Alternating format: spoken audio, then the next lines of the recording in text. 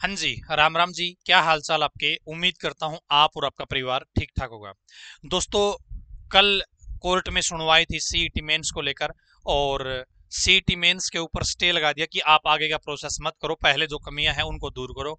और जो ये पाँच और छह तारीख का पेपर होने वाला था ग्रुप नंबर छप्पन और ग्रुप नंबर सत्तावन का, कोर्ट के आदेश में दोनों का ज़िक्र है कि ये दोनों पेपर मत लेना आप, ठीक है? फिर रात को नोटिस आता है एचएसएससी का कि ग्रुप नंबर छप्पन का जो एग्ज़ाम पाँच अगस्त को होने वाला था, उसको हम पोस्टपोन कर रहे हैं। ठीक है, अगले आदेश तक। केवल छप्पन का नोटिस आया था।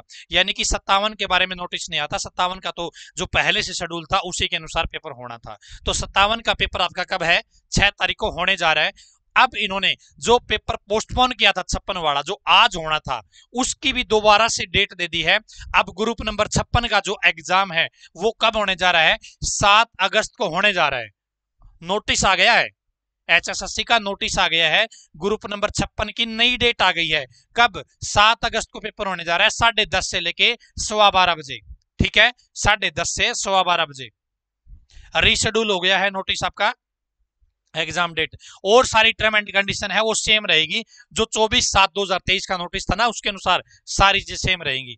ठीक है? एंट्री आपकी साढ़े नौ बजे के बाद एंट्री नहीं करवाई जाएगी। इसलिए जो छप्पन वाले बच्चे अपने घर पर चले गए थे, वापिस अपने सेंटरों की तरफ़ दौड़ चलो और कोशिश करना एक बार दोबारा से एडमिट कार्ड डाउनलोड हो जाए तो क्योंकि इसमें कोई एडमिट कार्ड की ज़िक्र एडमिट कार्ड का ज़िक्र नहीं किया गया है कि पुराने वाला एडमिट कार्ड चलेगा, नहीं चलेगा।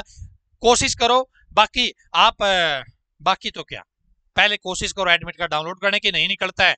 तो भाई, पहले वाले जगह पे आपको जाना पड़ेगा, कोई इलाज नहीं है। फिर भी कोशिश करते रहना, क्या पता ये क्योंकि एडमिट कार्ड का इसमें ज़िक्र नहीं किया है।